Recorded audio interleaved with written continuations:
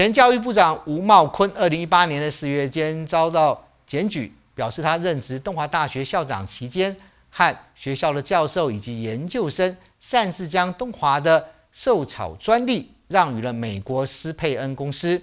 让东华无端支付专利费用美金两万三千三百四十元，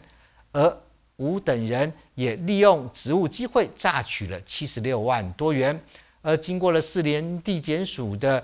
侦办之后，认为他们四个人是听从律师的建议而成立了美国公司，循程序申请补助的费用，并无贪污的犯意，处分不起诉。检察官在处分书指出，吴茂坤以及翁姓教授、谢姓、史姓研究生等四人，二零一三年间发现受草萃取物在抗发炎、抗肝纤维化以及抗氧化方面具显著功效。二零一五年以二代受草发明在美国申请专利，但是因为台湾并非美国商标局帝国，无法以东华大学名义申请取得。吴等人听从代办的美国事务。所专业律师建议，借美国借合伙人居中协调，将东华大学研究成果转移给美国施佩恩公司。二零一五年十一月，东华大学同意专利补助，隔年三月付款给事务所，并由施佩恩取得专利，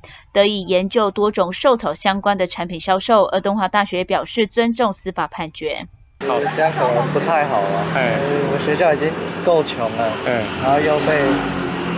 就是又被钱又被拿走，嘿嘿嘿，不太好。检察官认为，吴等人听由专业律师的建议，设立公司申请专利，依东华大学内部程序决议拨款补助汇入施佩恩账户，代表吴等人并无刻意隐瞒，无主观犯意，对吴等四人应处分不起诉。